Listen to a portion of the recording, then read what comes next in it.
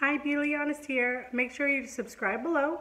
Leave a comment. Let me know if there's anything on Pinterest um, that you're wanting to make, and I will definitely try my best to do it for my next video. Hi, my name's Abby, and I'm going to show you today how to make a bow tie out of a napkin and attach it to a fork. I got this idea because my son just turned one. Um, some of the, his uh, decorations are in the background. And I saw it on Pinterest and I thought it was super cute because I was having a gentleman theme um, birthday party.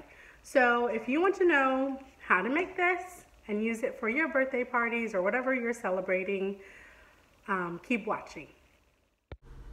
So first you want to take your napkin, fold it in half, and then you'll want to pinch in the middle and gather the sides. And once you pinch the middle, take your little rubber band that you can get at any CVS or Target, wrap it around the napkin.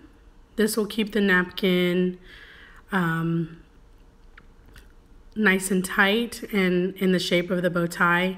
And you can adjust it with the um, rubber band if it's a little to the left, to the right, just adjust it and fold the way you would like it to look. And then you want to go ahead and grab your fork and a little piece of satin ribbon that you've pre-cut. Grab a glue dot and attach the satin ribbon to the bow tie.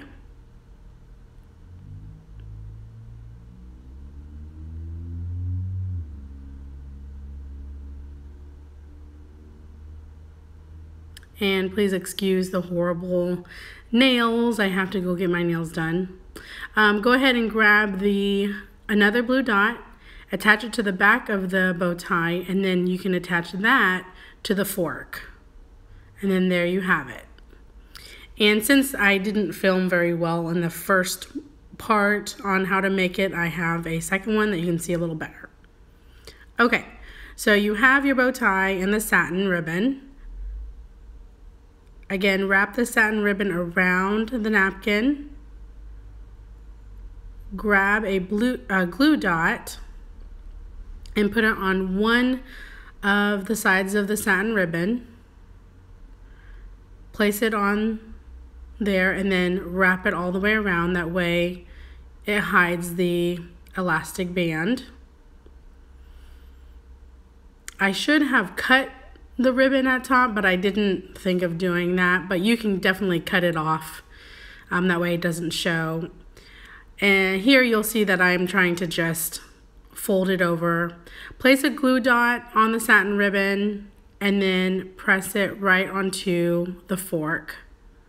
If you don't have glue dots, you can definitely use tape like double-sided tape or regular tape and just kind of fold it so it could be used just like a glue dot.